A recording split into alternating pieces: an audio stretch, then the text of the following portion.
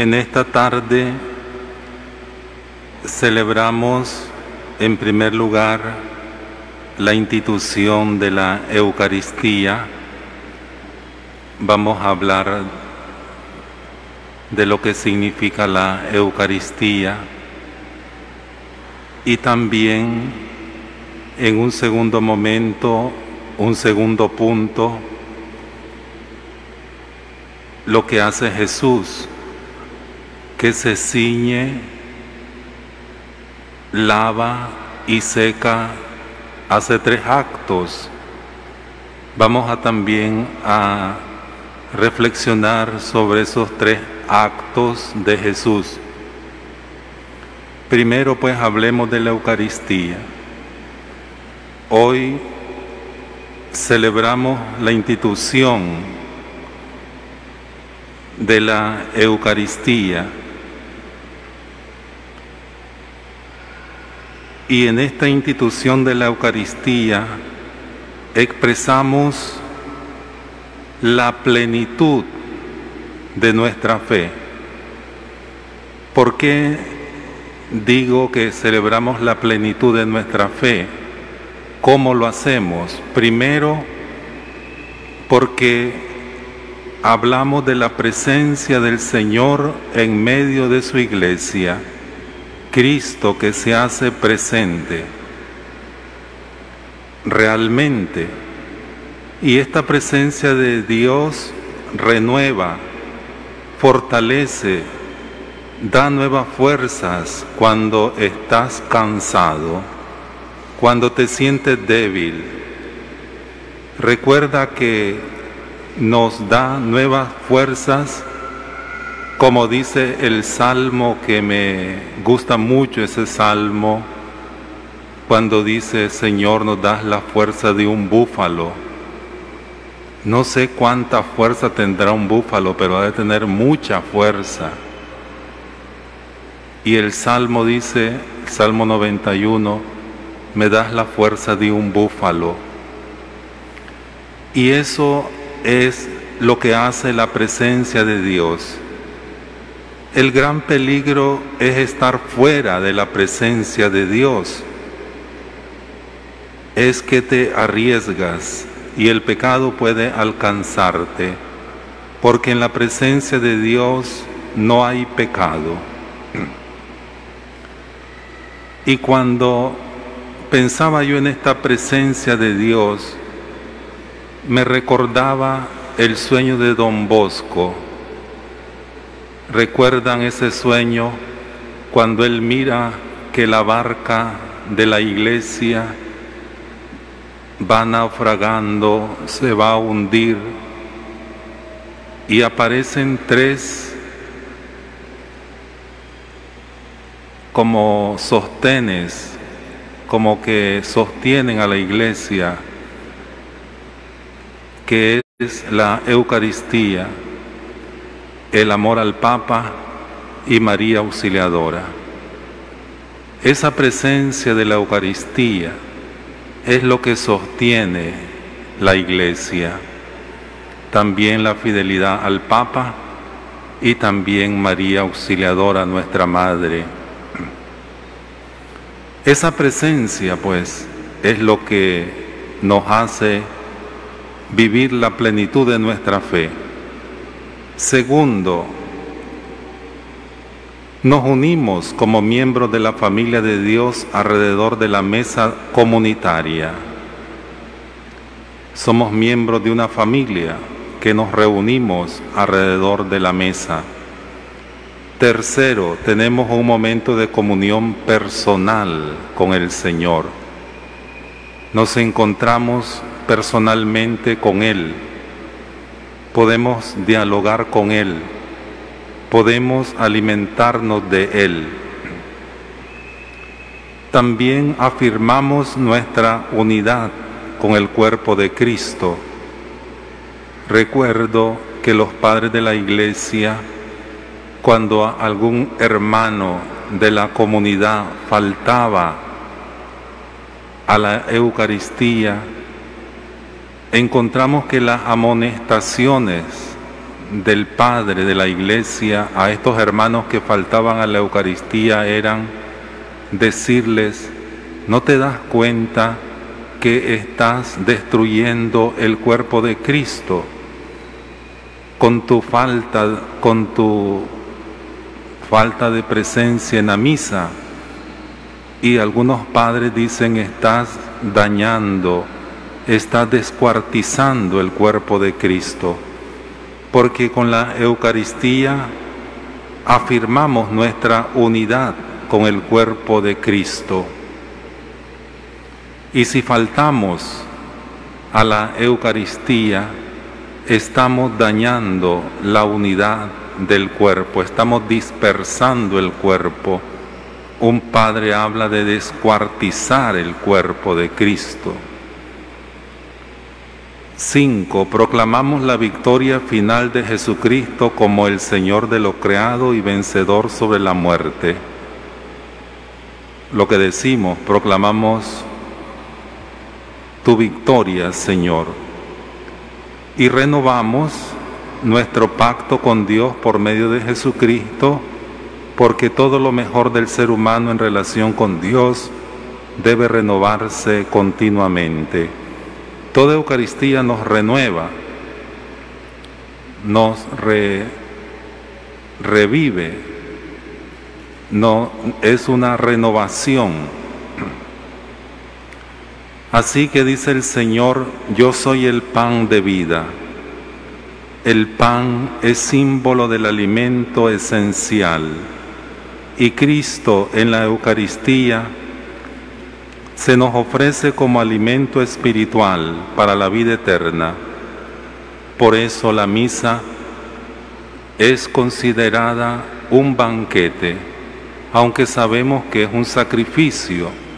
Es el sacrificio de Cristo que da su vida, su sangre, en la cruz, da su, su ser, se parte, es un sacrificio pero también es una comida, un banquete, las dos cosas, sacrificio y banquete.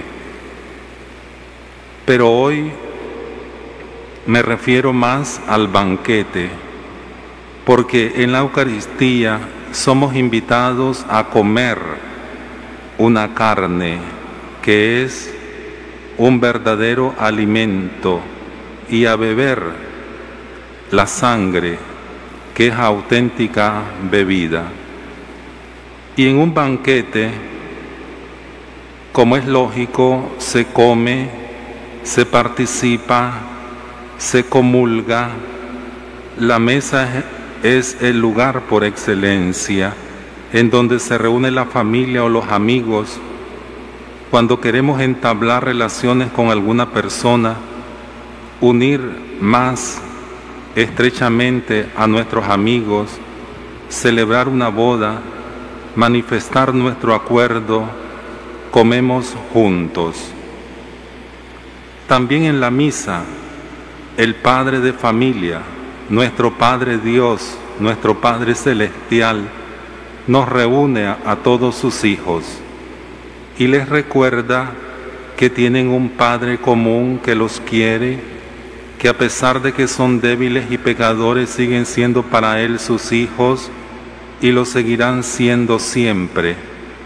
Les dice que pueden pasar toda la semana trabajando, gastándose, agotándose, pero que Él los espera cada día para reconfortarlos, para hacerlos unos hombres nuevos para meter en su corazón todo el amor que ellos necesitan para amar a los demás. Porque nosotros somos tan pobres, tenemos tan poco amor, y para amar debidamente a nuestro cónyuge, a nuestros hijos, a nuestros parientes, a nuestros amigos, para amarlos como ellos lo esperan de nosotros, necesitamos nada menos que al mismo Dios. Necesitamos su amor en nuestros corazones para que podamos dar abasto a todo el amor que se nos pide. Y para eso el Padre nos invita a que nos sentemos a su mesa se hace reconocer por nosotros en la fracción del pan. Nos da su pan, que es su mismo Hijo, con aquel gesto en que tantas veces se da a conocer un padre o una madre, haciendo que sus hijos los amen gracias a esas sabrosas comidas familiares. Ahora, yo los invito a que nos acerquemos siempre a la comunión. Esa es la meta, que todos estemos en comunión con Dios, que el pecado no nos venza, que nos animemos a estar en comunión con Dios y en comunión con los hermanos. Porque, porque ¿qué vamos a pensar de uno que se niega a venir? que se aburre en la casa de su padre, que busca excusas para no compartir con él. ¿Y qué pensar de aquel que después de aceptar su invitación se niega a comer en la mesa? Y por desgracia hay muchos que aunque se dignan venir, se niegan a comer. Tal vez no tienen ganas. Este pan no les dice nada no confían en este alimento. Durante toda la comida se van a quedar sentados frente a su plato vacío. ¿Cómo tiembla una buena ama de casa ante semejantes invitados? Hay motivo suficiente para quitarles también el apetito a todos los demás comensales Qué triste y qué lamentable comida sería aquella en la que buena parte de los convidados se negaran a asociarse a los demás, a comulgar en la alegría y en la amistad de los demás. ¿Quién de nosotros toleraría a personas tan mal educadas? ¿Quién se atrevería a celebrar una fiesta en semejantes condiciones, en el Evangelio se nos dice, la misa fue al principio un auténtico banquete fraternal y afectuoso, en el que Cristo habló largamente con sus discípulos. Allí Jesús les ofreció lo mejor que tenía, su propia carne para que nos alimentara, su propia sangre para que pudiéramos obtener una transfusión de su vida. Y los apóstoles comulgaron todos juntos. Y qué alegría, qué fervor sintieron todos ellos después de su primera comunión. ¿Cuándo nos sentiremos nosotros al salir de nuestra misa tan felices, tan renovados, tan fraternales, tan generosos, que nos demos cuenta de que solo Dios ha podido cambiarnos hasta ese extremo, de que Dios mismo había estado presente entre nosotros y se nos había manifestado de que habíamos visto al Padre y participado en su propia mesa, es necesario tener siempre presente que la Eucaristía no es algo que hacemos nosotros, no es una conmemoración nuestra de lo que Jesús dijo e hizo, no, es precisamente una acción de Cristo es Cristo quien actúa allí. Es Cristo quien está en el altar. Es un don de Cristo quien se hace presente y nos reúne en torno a sí para nutrirnos con su palabra y su vida. Esto significa que la misión y la identidad misma de la iglesia brotan de allí, de la Eucaristía y ahí siempre toman forma.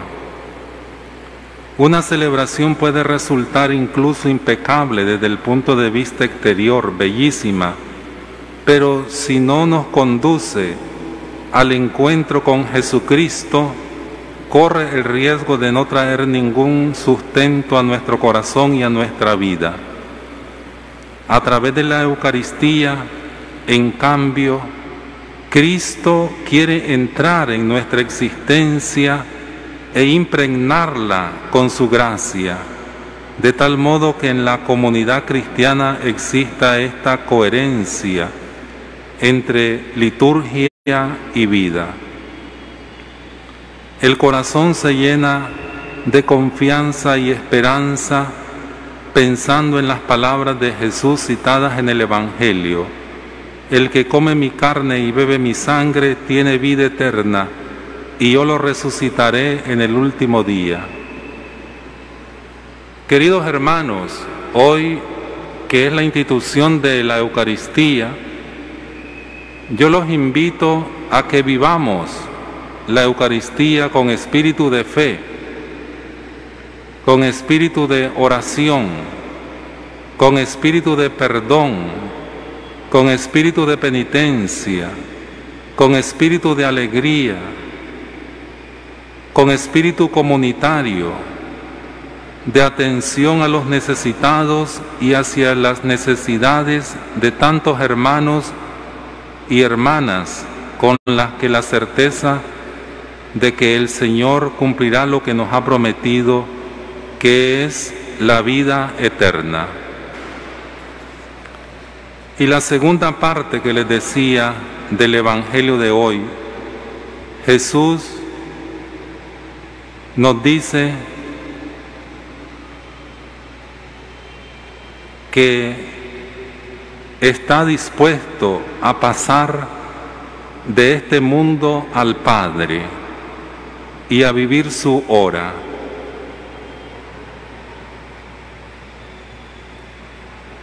Con la clarividencia de su libertad divina, libremente, dice, yo estoy dispuesto a pasar de este mundo al Padre. Estoy dispuesto a vivir la hora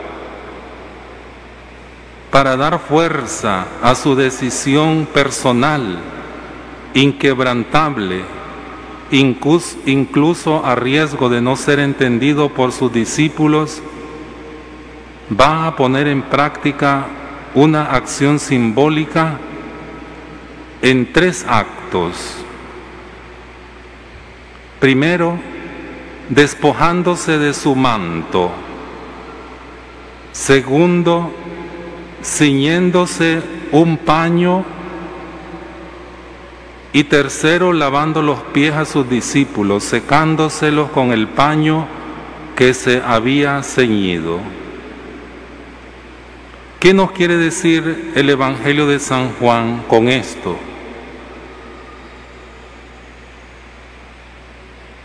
Juan quiere decirnos algo mucho más profundo cuando nos ofrece el dato de que Jesús se ciñó un paño y cuando le secó los pies con el paño que se había ceñido.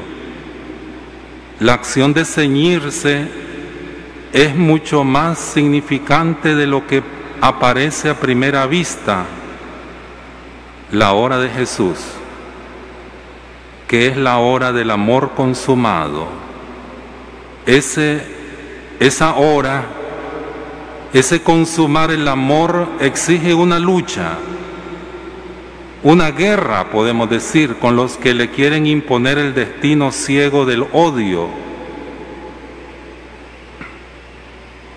Jesús no está dispuesto a que nadie le imponga su muerte, sino que es Él quien impone su hora como voluntad y proyecto de Dios.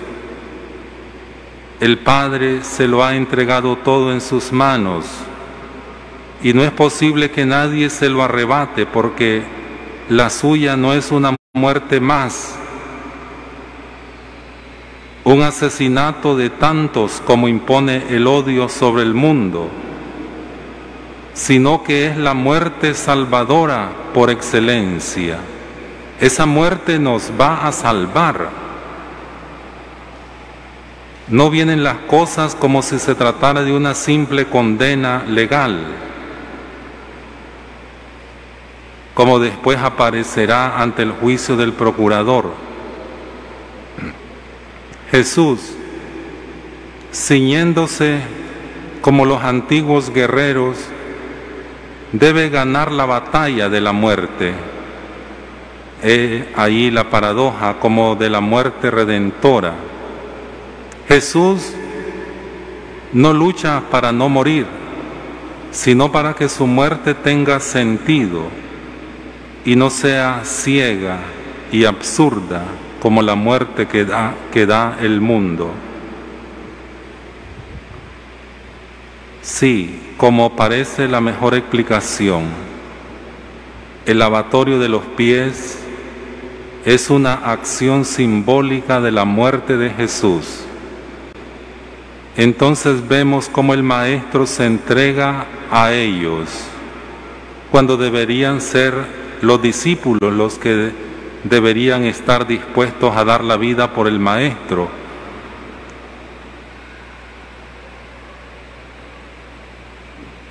Por eso los versículos donde habla Simón Pedro le dice, Señor, ¿me vas a lavar tú a mí los pies? No me voy a dejar lavar los pies jamás. Y Jesús le dice, si no te lavo no tendrás parte conmigo. Se nos quiere explicar que Pedro no puede entender que Jesús dé su vida por los suyos. Y le dice Jesús, solo lo entenderás después, tras la muerte y la resurrección.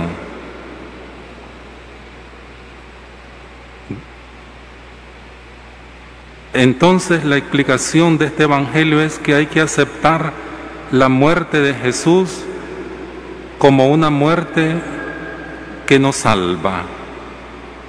Eso no lo entendía Pedro. Jesús se lo hace entender.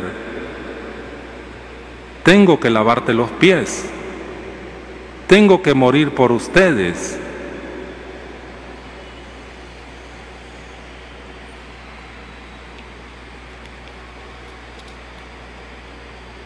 Es dura esa realidad porque la muerte, en realidad la muerte de Jesús a los ojos del mundo es una humillación, es un acto de humildad, un servicio de esclavo que hace el Hijo de Dios a los hombres. Lavar los pies es un servicio de esclavo. Se vuelve el siervo de los siervos. Morir por los hombres siendo verdadero Dios es un servicio de esclavo.